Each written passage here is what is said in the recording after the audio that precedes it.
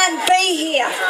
But she's asked me to read out a few words on her behalf as well. She says, today is an important day for families. Coming, at, coming out at work to friends and particularly to families has been acknowledged as a game changer in the campaign for equal treatment under the law. While you rally today, I am with my family in the USA beside my sister who is battling cancer.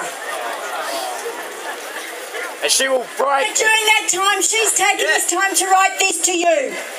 She says the time has come for marriage equality in Australia. How true is that? We can do this, Australia, she says. Yes!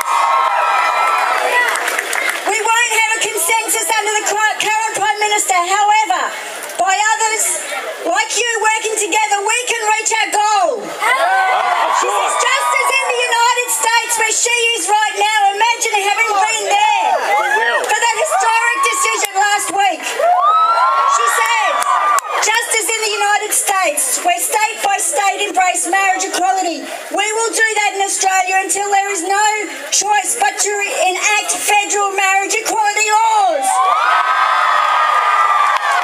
The Greens have been there for every vote, every MP, every time.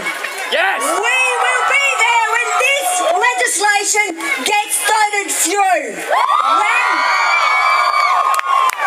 when we get a free vote in August.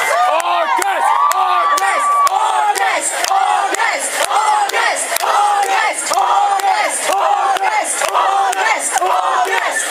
History is being made, folks.